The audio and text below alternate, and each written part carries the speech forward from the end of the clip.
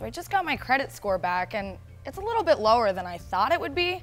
What is a credit score anyways? How do people figure out this number?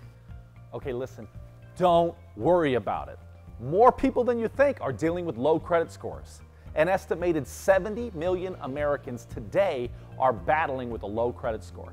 And as a matter of fact, almost every one of us at one point or another are going to fight with credit issues. Here's the great news you can fix it. But first, let's find out what's driving that credit score down. Number one, if you've got some negative marks on your credit. Let's say you've gotten behind on a car payment, house payment, or maybe the IRS is coming after you because of some tax issues, or you've had medical bills.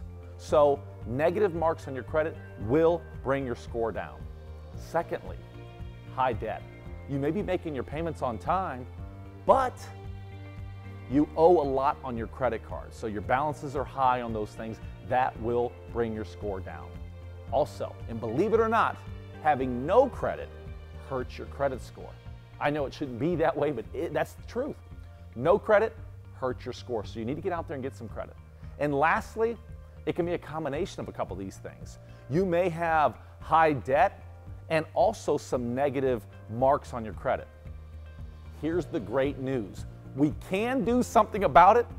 So let's get started on showing you how to repair your credit. Who makes up that number, anyways? Is it a man? Is it a machine? Is it the Wizard of Oz? I don't know. Okay, so you fill out a credit application, you stick the paperwork out, and you hand it back to the guy who's looking at your credit, and he comes back with a credit score. Well, let me tell you something. It's not any individual who's looking at your credit, so don't worry about it, okay? This isn't somebody judging you. The reason your score comes out the way it is, it's being judged by a computer, okay? And it's the computer's best guess at the likelihood of you making your payment. So it's not always right, okay? And it can be fixed.